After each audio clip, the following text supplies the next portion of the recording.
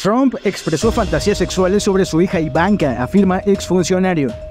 El expresidente Donald Trump habría hecho comentarios de índole sexual sobre su hija Ivanka, según un nuevo libro del exfuncionario Miles Taylor.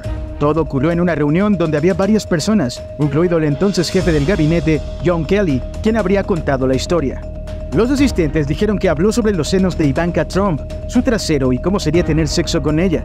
Comentarios que una vez llevaron al ex jefe del gabinete John Kelly a recordarle al presidente que Ivanka era su hija. Había escrito Taylor en un nuevo libro citado por Rose Story. El reportaje agrega que Kelly le contó esa historia con disgusto. Kelly me volvió a contar esa historia con visible disgusto. Trump dijo que era un hombre muy muy malvado, agrega el reporte.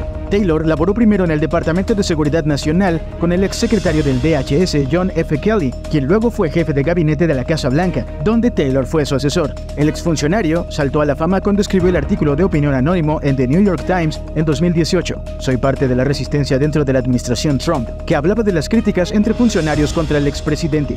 Su identidad fue revelada en octubre del 2020, mientras hacía campaña contra la reelección de Trump. Actualmente, Taylor es un comentarista en los medios sobre seguridad nacional y política pública. No es la primera vez que hay menciones a una supuesta atracción de Trump hacia su hija Ivanka, y tras la revelación del libro de Taylor en redes sociales como Twitter, se han retomado otras expresiones del republicano. En una entrevista en ABC News en 2006, el expresidente Trump dijo que si Ivanka no fuera su hija, quizás andaría con ella.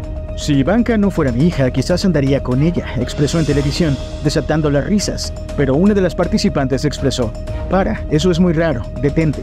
Ivanka Trump fue asesora de economía del expresidente Trump durante todo su mandato presidencial.